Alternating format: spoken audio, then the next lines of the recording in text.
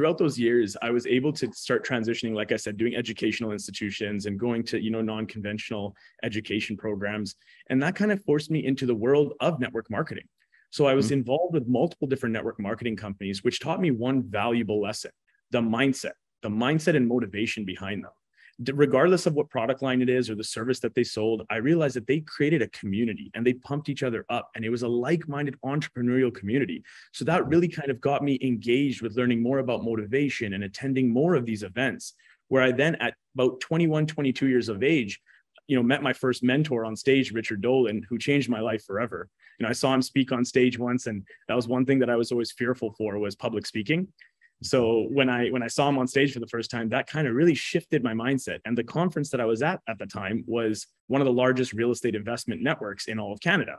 So I was learning about real estate, I was learning about multifamily and all these investors that had these doors, and it was a premium membership pricing, but it got me into the gates of real estate and learning now, okay, I see real estate being the biggest asset class. I see it being a powerful source. It can give me the residuals I want. Now it's how do I immerse myself in it? A lot of people try to jump into the game of real estate without understanding it first, or they go to an entry point level of getting a license and going out and transacting.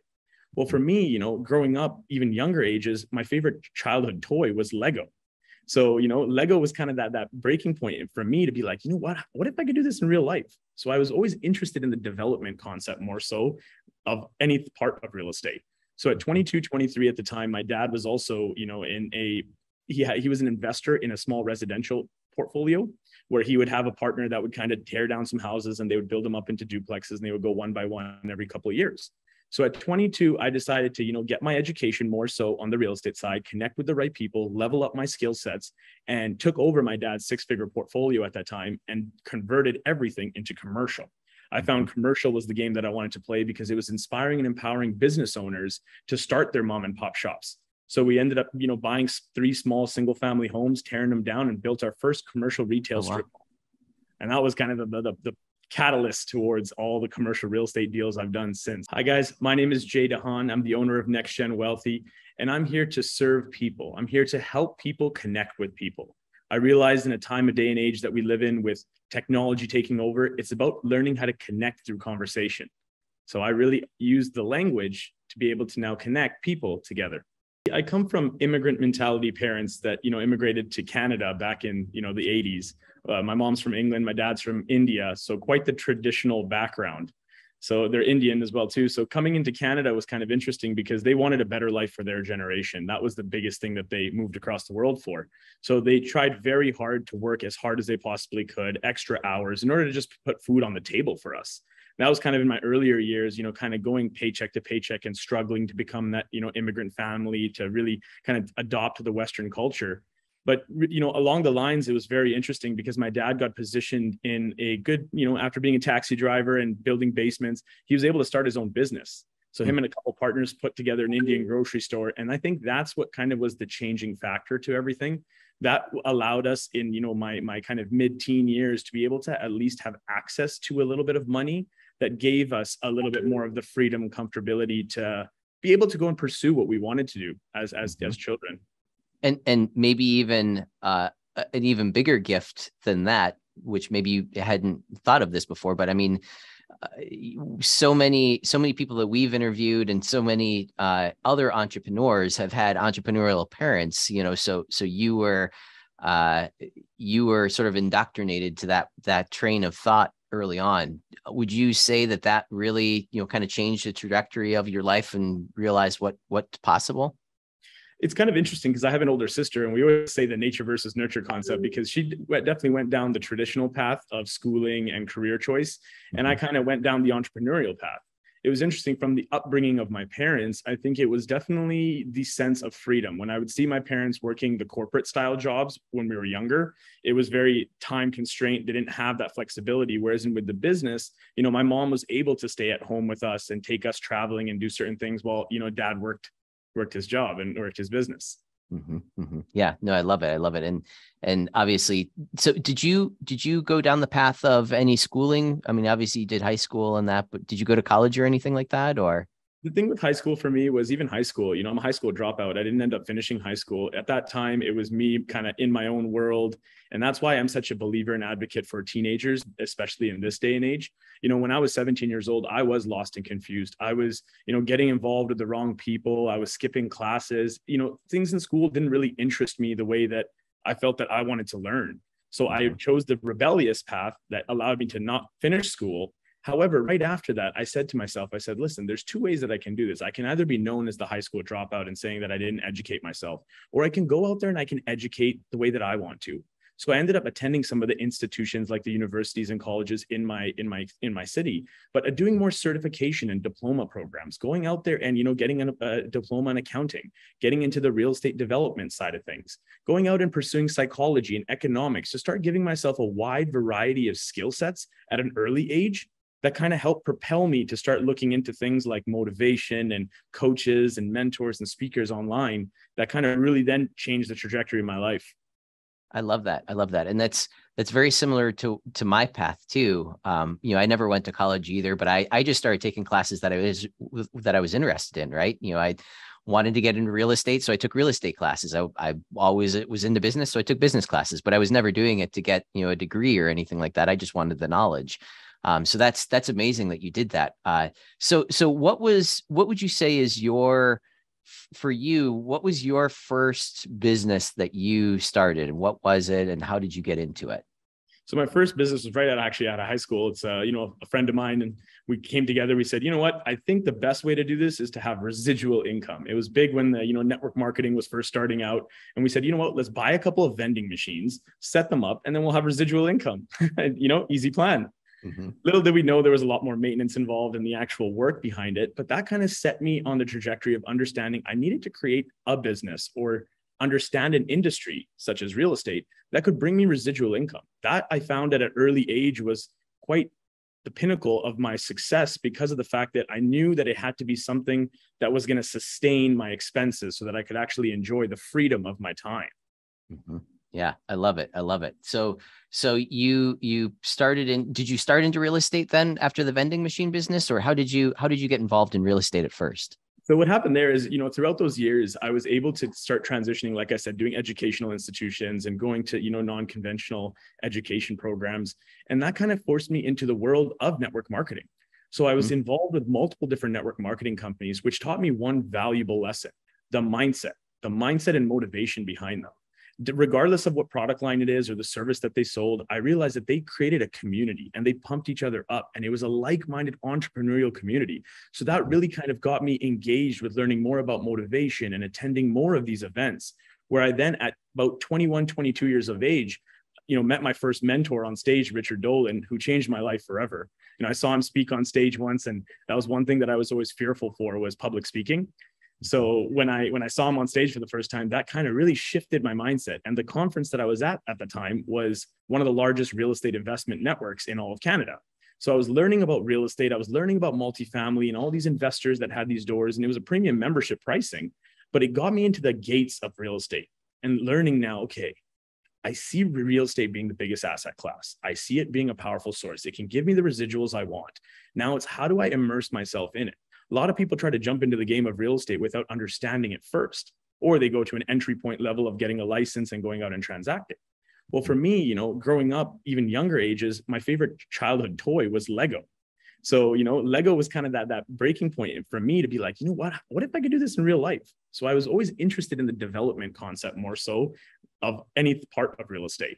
So at mm-hmm. 22, 23 at the time, my dad was also, you know, in a he had, he was an investor in a small residential portfolio where he would have a partner that would kind of tear down some houses and they would build them up into duplexes and they would go one by one every couple of years. So at 22, I decided to, you know, get my education more so on the real estate side, connect with the right people, level up my skill sets, and took over my dad's six-figure portfolio at that time and converted everything into commercial.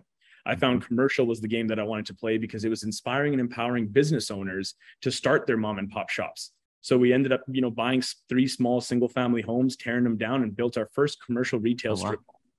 And that was kind of the, the, the catalyst towards all the commercial real estate deals I've done since. That is cool. That is cool. And and how many commercial real estate deals have you done at this point? And is it is it all like storefront as well? Yeah, they're all retail storefronts. So that was kind of the niche that I chose. The little golden goose, golden goose of uh, real estate is what I call mm-hmm. it. Because when you're looking at that range, you, you know, you have about eight to ten tenants. They're mom and pop shops. You know, pizza shop, liquor store, doctor's office, pharmacy. They're in solid five to ten year terms, and it gave the stability that I wanted, but it also gave the power and the ability to have a three to five million dollar building. Mm-hmm. So at that position, I kind of realized, okay, you know what? This could be an interesting game. How people go and flip flip homes what if I could get into the game of learning the art of raising capital, connecting with the right people, and being able to start to actually flip a couple of these malls? So we ended up purchasing one, and within eight months, we got an offer on it, flipped that one, made some money, started rolling it in, bought another piece of land, built another building, and it, the, the, the, the snowball effect just kind of took off after that point. That's incredible. That's incredible. So, and and when you're when you're flipping these businesses or uh, these buildings, um, are you are you so you're building them are you filling them up? Are you you know is it like design spec? So you have a you know a a you know i don't know a travel agent or something like that. So it's more like beachy themed or like a bar or restaurant. So you know you have that that style you know in there. Is that basically what you're doing? And then you know you get the the property generating revenue and then then you would sell it then at that point Exactly. So everything from the land acquisition to the full scale development. At the, at the beginning, I didn't know much about construction. So what I mm-hmm. did is I hired a general contractor to come in and I would sit there and watch and I would take notes and I would ask questions. See, what I realized at an early age was if I'm going to be hiring professionals to do work, it's not just a matter of hiring the professional. It's about sitting there and learning from the mm-hmm. professional. Mm-hmm. So I sat there and I took notes and I understood the construction. So we did the full scale construction moving forward. We would then manage the property ourselves and lease it out. So we'd work alongside our realtor partners and be able to generate, you know, leads that could now sustain their their businesses there. And then again, we managed the property until we would either keep it as a cash flow property in our portfolio or we put a nice cap rate on it and sell it to an investor and, and on to the next one. Yeah, yeah, I love it. I love it. And and were you doing this? Uh, obviously, this was in Canada. Were you doing this other areas as well, or primarily Canada? Yeah, the Alberta area and Calgary. Calgary is kind of the main city in Alberta, but it was actually a smaller municipality right outside. See, I saw this small city, and I see I saw the development and kind of the passion and the energy and you know i'm a big believer of people and i really want to kind of you know direct my success towards people. But it was just in that in that small municipality i could see the the vibes and how people took care of one another. And i thought you know what? If you can build a real humble calm respectful business here you know the people will come. People will be able to yeah. respond to that. And and that's exactly what happened in that small city of airdrie. Love it love it. And now you're down in florida correct? What what brought you down down there yeah, over the years of me getting into the real estate game and being able to build out a couple offices and start multiple different other companies in between, marketing agencies, a, a restaurant, as well as a holistic clinic, you know, all that all that life experience kind of really channeled me towards, you know, really seeing what I wanted to do and how I could make true impact in the world. See, I was mm-hmm. doing a lot with my own self there. I had built my real estate portfolio. I was living a very lavish lifestyle. I was doing good but my purpose wasn't strong enough to being able to actually impact and empower those around me. So I decided to say, you know what? Let's do something about it. And the minute that I made that decision, the global pandemic hits. Ah.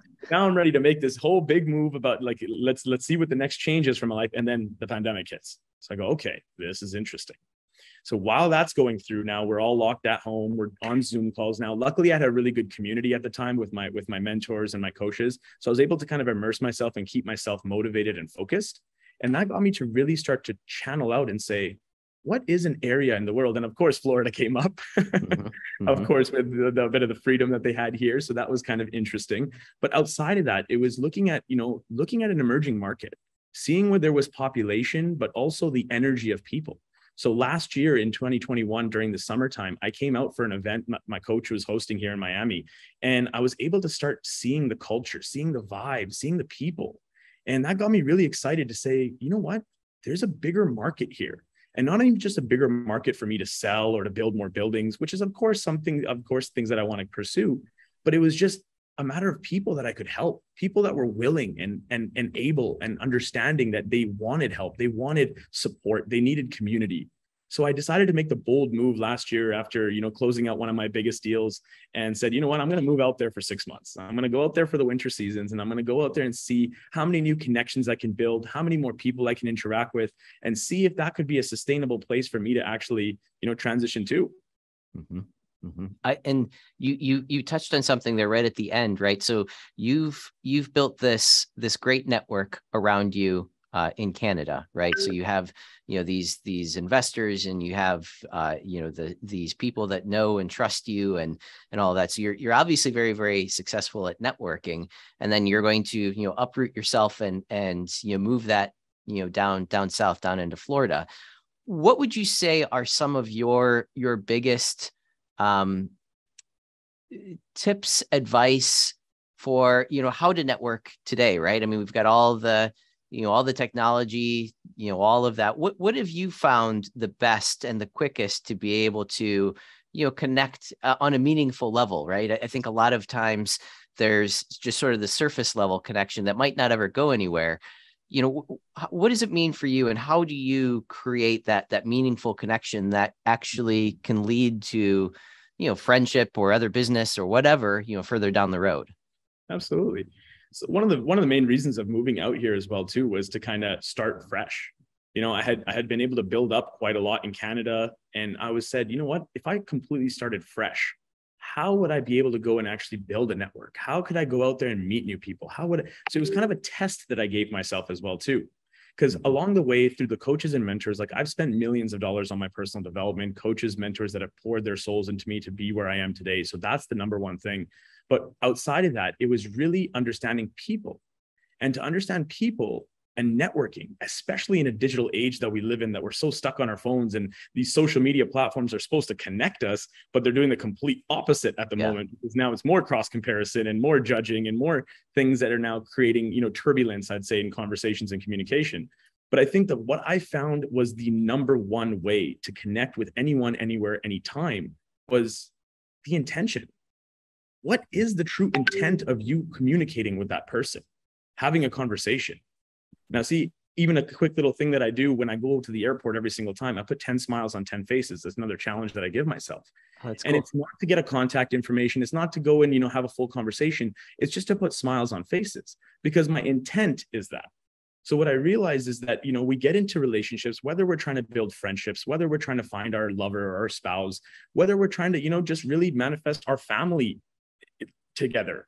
It really comes down to what the intention is that you have see most people will go in and try to find you know try to pick up the girl or the boy at the bar and their intention is is maybe to go home with them or to you know become boyfriend and girlfriend or whatever that might be but with the intent of just actually getting to know somebody and just going over and saying hello and seeing that that could just be a new friend in your world and if that mm-hmm. manifests to something then great i found that that was the biggest the biggest point for me to have the confidence to walk up to anyone anywhere regardless of age regardless of gender regardless of color regardless of anything it was a matter of just a conversation that I wanted to have with a pure intent. Mm-hmm. And I, that's a great that's a great perspective to approach something like that with, right? Because again, I think that I think that people, I mean, you you just said it, right? People get caught up in, you know, the ulterior motive of, you know, what what I could be doing here, but just just have that, you know, in the back of your mind, what is your intent, right? And and uh, you know, be be present with that that thought.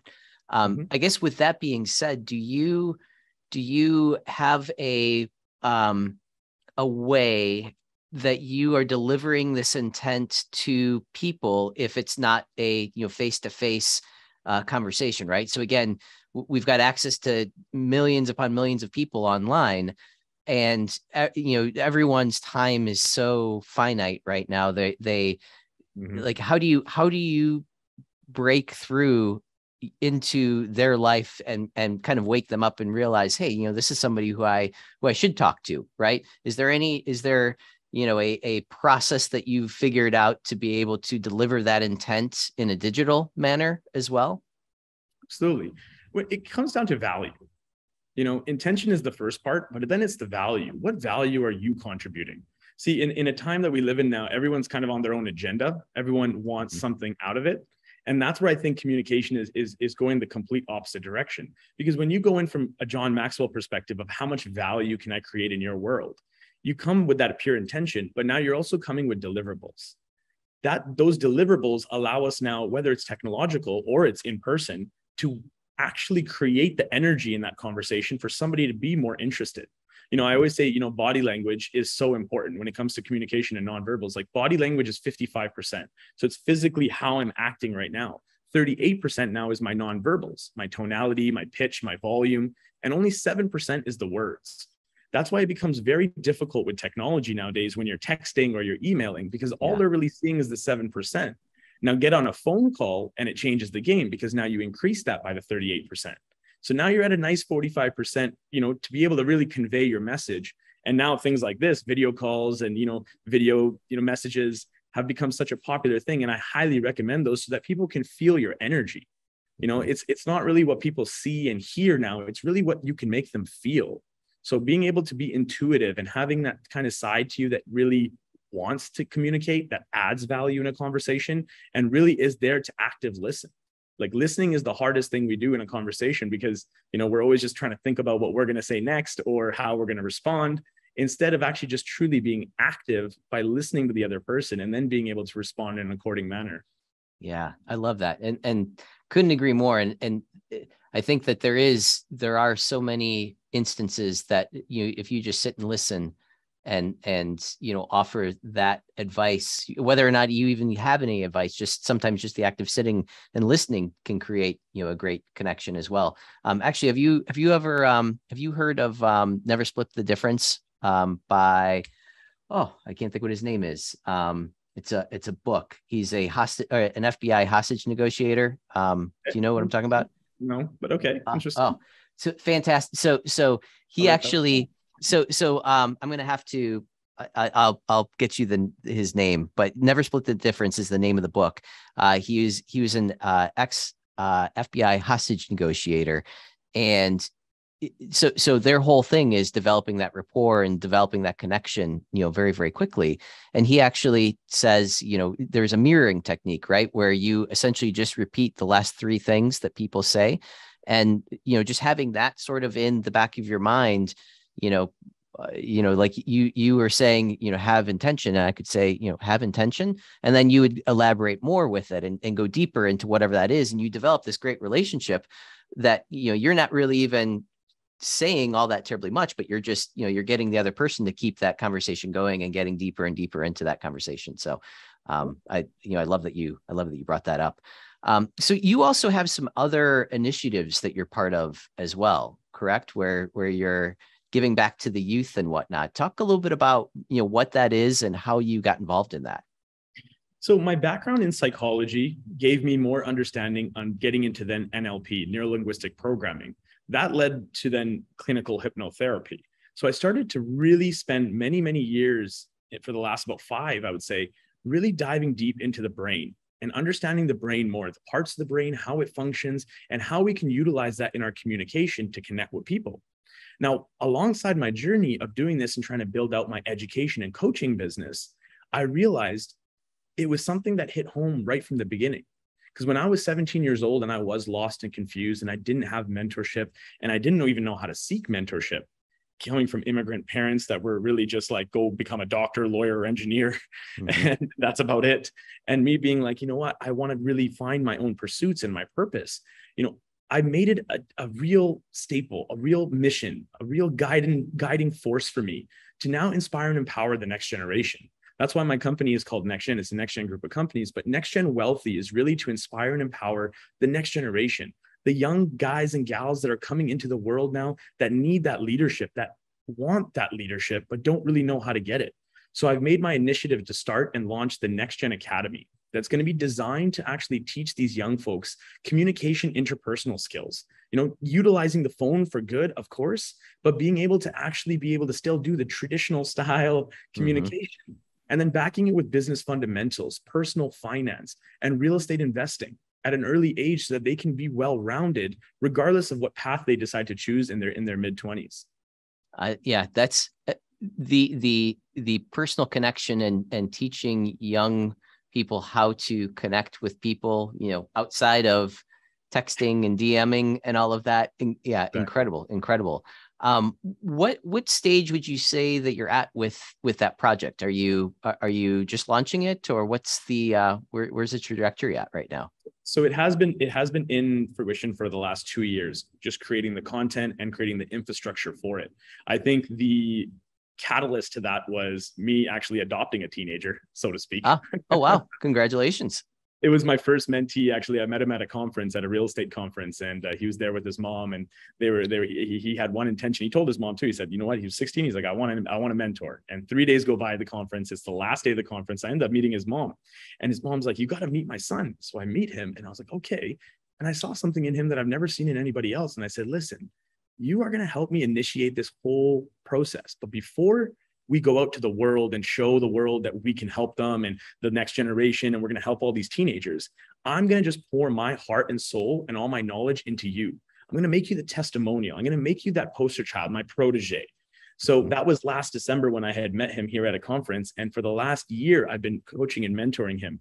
Across about the summer months is when he started to come live with me so okay. we were living, we were traveling to, you know, Miami, we were in Tampa, we were out in Utah, going to all these different conferences and connecting while I was building his inner strength, while I was building his confidence. I was helping him unlock his purpose. I was getting him well rounded to being able to use his speaking ability at a profound level. And that now has transitioned in this, in this last summer for us to really start to build some traction and get my group of 10 champions that I set out to find of just 10 champions now from one, it turned to 10 and now mm-hmm. these 10 are helping me establish the baseline of how we're actually going to go and launch for 2023. Oh, I love it. I love it. it that's yeah, that, that, that's so inspiring. That's so inspiring. And like I mentioned to you, we, we have we have some other programs that you know we're trying to launch and and I love I love the the process that you just ex, uh, explained with you know how you're going about launching that. That is that is really really cool. Um, what what would you say uh, who are the the ideal candidates for that that program? Absolutely. I feel it's anybody that has the energy, time, willpower to pursue something more. Now, that was interesting enough because at the beginning, you know, I wanted my admission price to be quite substantial. It was going to be a $10,000 admission price, mm-hmm. and it still is.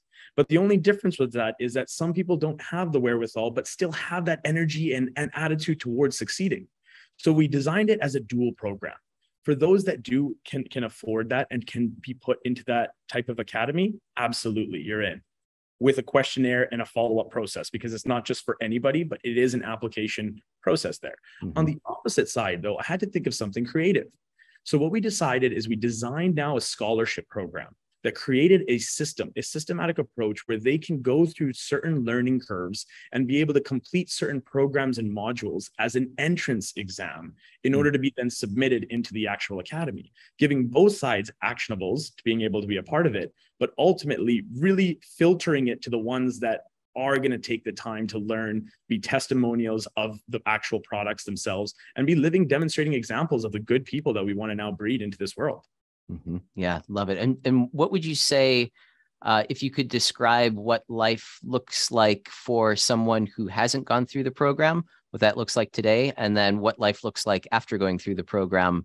Um, you know, the skills, the knowledge, the connections. What, what does that look like for them? Absolutely. So with without the program, it's necessarily you know you're kind of on your own.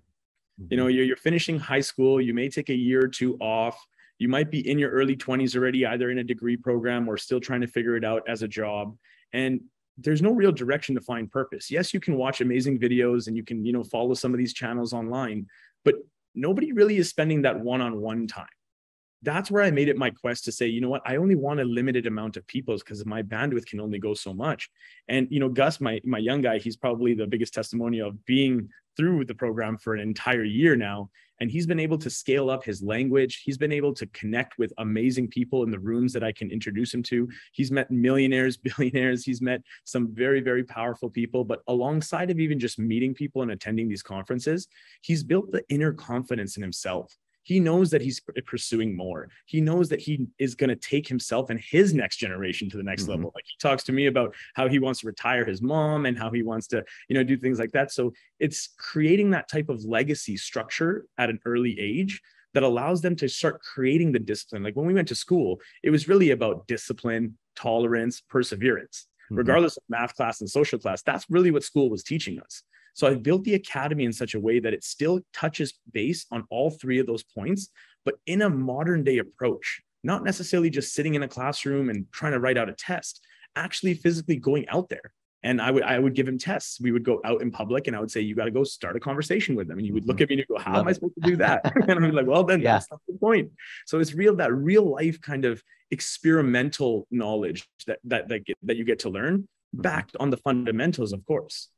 I yeah, I love it. And and do you have any techniques with how to do that? Because again, I think that there's, like you mentioned earlier, you know, this thing creates such a such a gap today, and people are, you know, so afraid to to go and talk to people. Do you have any, I guess, um, pointers or or sort of rules of thumb, frameworks, mindsets? Uh, to to put yourself into you know when you go and and try to introduce yourself to someone new Absolutely. See, the, the, the one thing is when we go to conferences all the time, the, the first thing that people ask us is, so what do you do? Mm-hmm. That question, I tell you, for the last 10 years, I've been asked that question and I really don't even know how to answer it because it's not what I do, it's who I am. Mm-hmm. So that's an that's an integral part to just kind of preset that with. In terms of actual techniques, first and foremost, even before we get to the actual communication and connecting with people, it's really understanding your time, your time value. And time value is so much more important because you start to actually schedule and understand what you have available in that time block that you're that you're there in. Mm-hmm. That being said, now you're in the time block. Let's just say we set out two hours to go network and connect with people. Now it's like, well, how do I do it? How do I approach that person sitting at the bar? One massive tip that I always give is using a situational factor, is what I call it. So when you're sitting there or you're standing there or you're walking alongside somebody down the street, you know, everyone is going to go for that generic approach, the generic elevator. Hey, how are you? Yeah. and as much as we're going to say, good, how are you? Yeah. Like most people do, use something that's creative, use something that's different, point out something that's on the street or notice that, oh, yeah, that was a great goal that the football, they, they scored that. Using something else to capture somebody's attention and kind of indirectly being able to open up a conversation. I think that's been one of like, you know, I spend a lot of my times networking at, you know, bars and restaurants and I love the social scene because I go out there and I get to just analyze people and really test myself and challenge myself on people that may be closed off or may be, you know, you know, extroverted, but mm-hmm. it's irrelevant because it's using situational factors like that to open up a conversation so that they can feel comfortable enough to start sharing you know who they are and what they're up to and and all that. And then that conversation starts to build and manifest into the intention that you have Mm-hmm. Yeah, I love it. I love it. Jay, this is like re- extremely powerful stuff that you're sharing here. Um, if people want to learn more about you or the programs that you have, what would be the best way to, to reach out and get in touch? Best way would be, you know, my Instagram channel, Jay Dhahan, J A Y D H A H A N. I post a lot of my free material content there. I do have a YouTube as well too, but that's kind of really my focus point. So if anybody wants to reach out, feel free to reach out, and we'll definitely get you more information on anything you need. Love it. Jay, thank you so much. And I want to say thank you for having me on here and any guidance, any value that I can bring to your audience. That's why I'm here. I love it. I love it. Yeah, they, I, I know that there's going to be a lot of uh, appreciation for this episode. There's a lot in here. So many thanks.